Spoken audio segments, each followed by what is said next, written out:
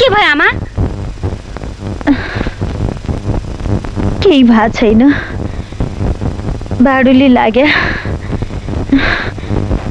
मेरो बिर्खेले मलाई सम्झ्यो क्या र थाहा छैन कहिलेसम्ममा आउँछ बिर्खे आइहाल्छ नि आमा सहर गएपछि अलिकति समय त लागिहाल्छ नि हेर्नुहोस् आमा सहर त सानो ठाउँ त होइन। कि गाउँघरमा घुमे जस्तो एकै फोनकोमा आइपुगिहाल्ने बिर्खे आइहाल्छ नि तपाईँ त्यसै चिन्ता लिइरहनु भएको छ।